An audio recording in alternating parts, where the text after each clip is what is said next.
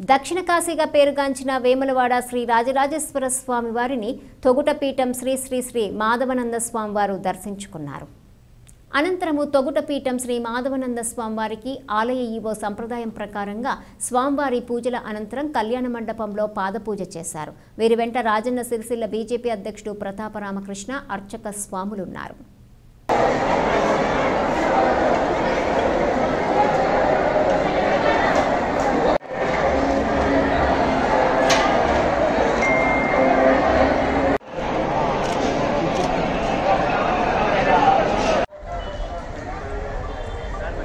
ना आत्रा अच्छा है।